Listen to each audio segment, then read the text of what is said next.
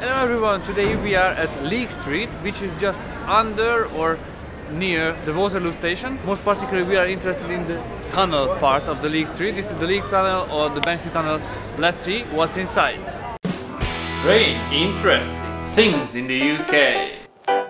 So here in this tunnel this is legally allowed to do graffitis and paint the walls.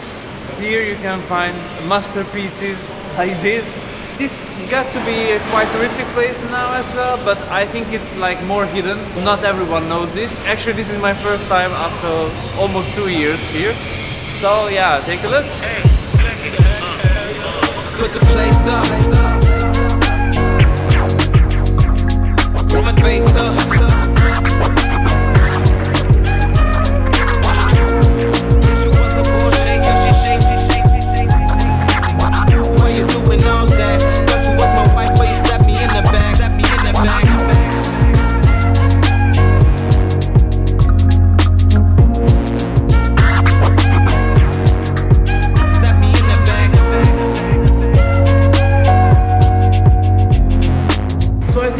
Rather interesting concept and if you have the time and willingness and you are interested, I can really highly uh, recommend to visit this place. So that's it for now and see you in the next one.